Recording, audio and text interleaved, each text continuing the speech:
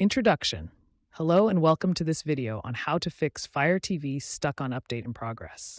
If you're experiencing this issue, don't worry, you're not alone.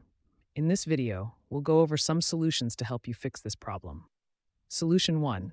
Restart Fire TV. The first solution is to restart your Fire TV device. To do this, hold down the select and play pause buttons on your remote at the same time for 10 seconds. This will cause the Fire device to restart. Then, take the batteries out of the remote and use the Fire TV mobile app to use as a remote.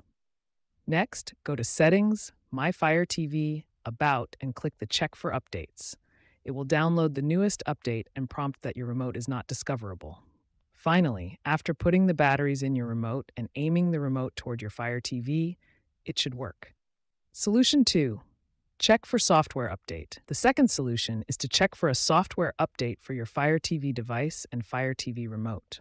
To update your Fire TV device, go to Settings on your Fire TV, select My Fire TV, About, check for updates. If there is an update available, download and install it. Solution 3.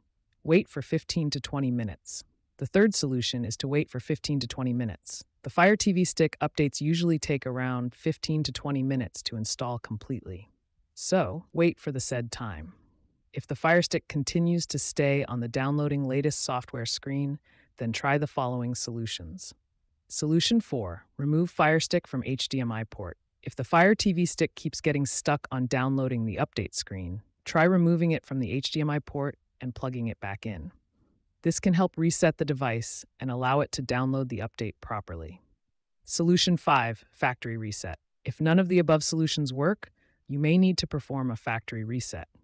This will erase all data on your Fire TV device, so make sure to back up any important data before proceeding. To perform a factory reset, go to Settings, My Fire TV, Reset to Factory Defaults.